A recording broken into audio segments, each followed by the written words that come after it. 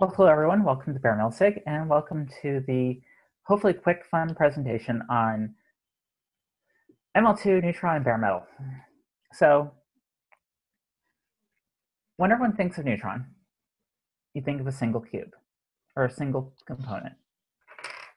And then sometimes you think of, oh, there are other services that are bolted next to it that like handle DHCP or that handle uh, OVS but ML2 is very different. And it's important to understand this difference when you start talking about managing ML2 drivers and infrastructure for bare metal. Because say the Blue Cube is my, my ML2 driver in this case, the ML2 driver is bolted directly to the Neutron API. And that's kind of frightening for many people here. So hopefully I'll provide a little more clarity to this. But in the case of bare metal, we also have a second ML2 driver to help the reconciliation. so let's say in this case, this one is networking generic switch and this one is networking bare metal. Networking bare metal provides the reconciliation. Networking generic switch allows you to take the switch configuration that is posted by Ironic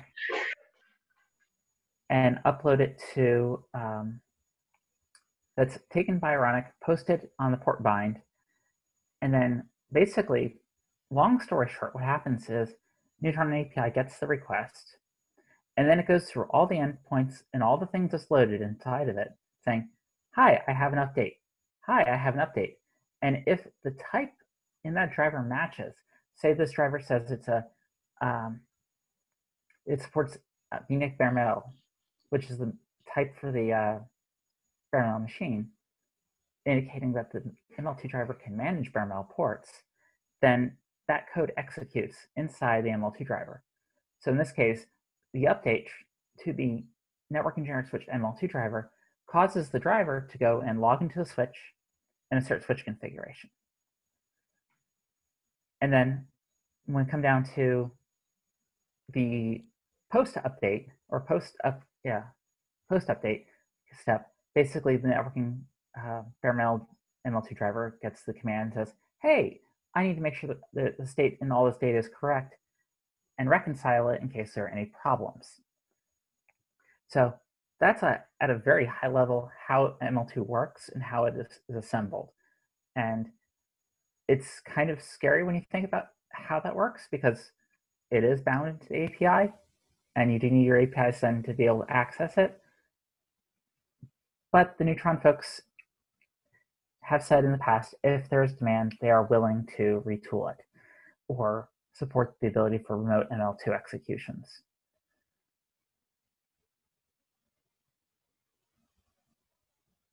Any questions? So this was this was made for I mean this is the generic ML2 framework in Neutron, right? Which was made yes. for virtual machines. It exactly. So, so what is the like difference when using this for bare metal machines and switches? So, like for, model, for physical hardware, I mean.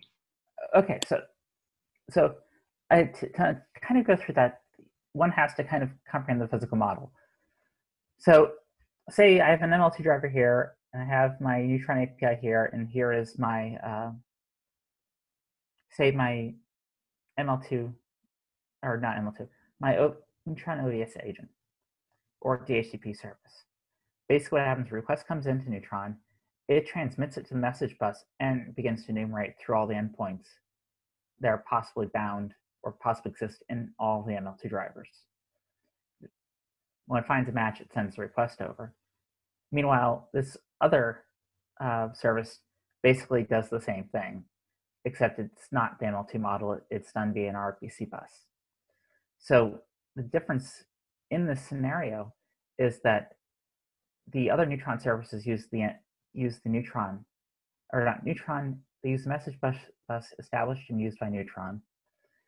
The ML2 driver itself uses internal communication by basically uh, data data payloads being passed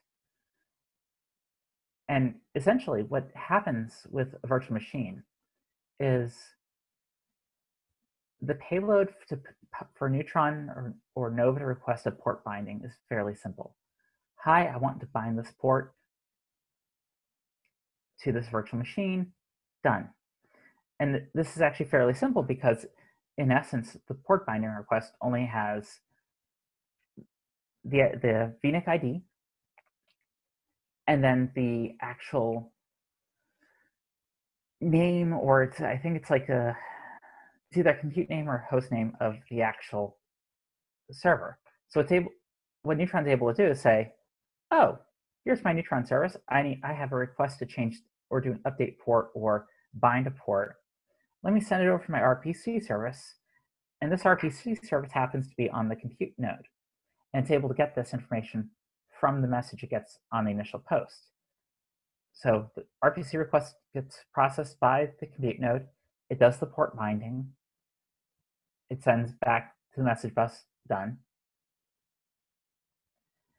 And the reason it's so different with bare metal is the fact that we need the extra ML2 driver interface to actually reach out into the infrastructure and do the same thing, which is why in Ironic you have to have extra port information to achieve the binding.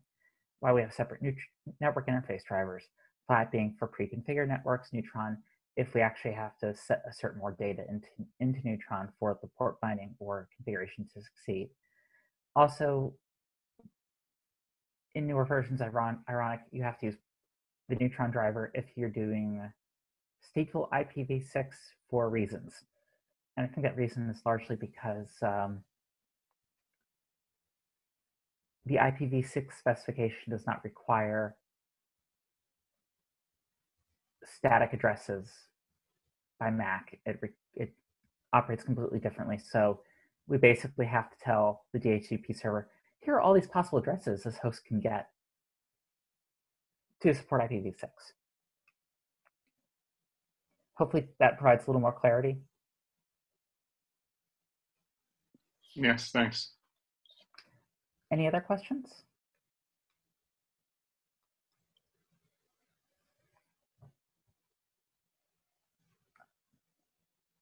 Any typed questions in the chat? Is that actually, do you know if this is like the main like deployment model for Ironic with like the Neutron driver for networking? Or is flat more prevalent? So, so for, for, our deployment, for instance, uh, as I said at, at, previous occasions, our networking is pretty, it's pretty much a no-op. The, the, yeah. the nodes have like in a different database, they have pre-configured um, IP addresses, the DHCP server is somewhere else, um, so we're trying to more or less make sure that like Nova and Ironic do not interfere with anything of this. So it's mostly mm-hmm. a, a no-op. So whenever someone has like more networking that is controlled by Ironic, I find this quite fascinating. Also because our network is relatively simple. It's really completely flat and uh, there's no separation of like tenant networks, for instance. Um, all we have is the, the BMCs are on a different network. Apart from this, the everything else is on the same network basically. Interesting. Um, basically, the model people tend to use is flat, and there's two reasons for this. It's easy, it's simple. Well, those are two reasons on its own. There's a, I guess there's an additional reason, which is in organizations, you end up in this assumption where you have to have separation of duties and delineation of humans versus parts of infrastructure. So basically, you end up with people who are in charge of the switches. And they start to become very uncomfortable when software, especially software they don't control, is managing the switch configuration. And it's repeatedly been an issue that we've encountered as a community. And I'm not sure there's a good path forward on that, largely because it's uh, the only way to get people to really use it is for them to understand it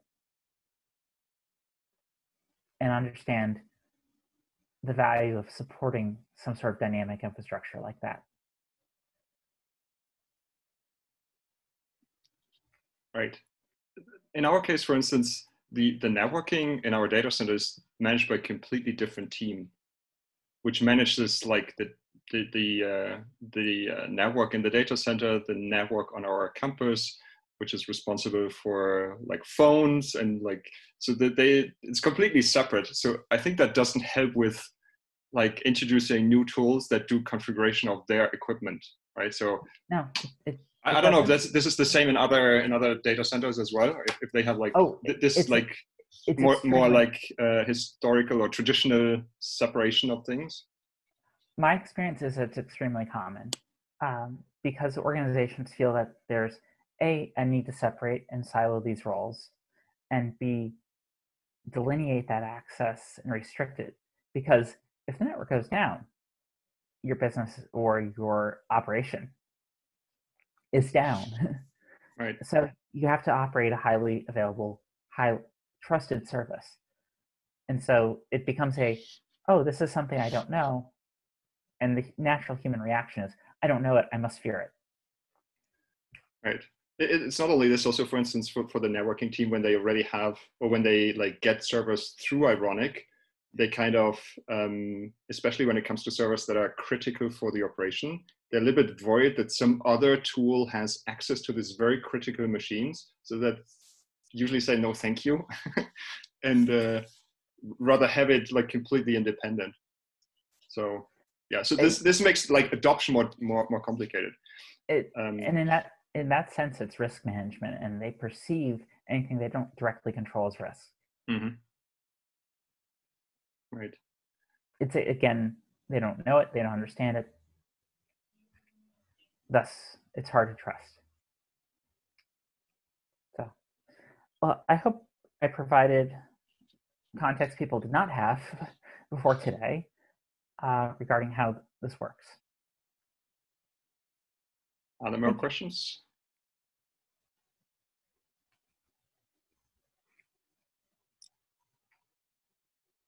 doesn't seem to be the case. So thank you very much, Julia. Welcome.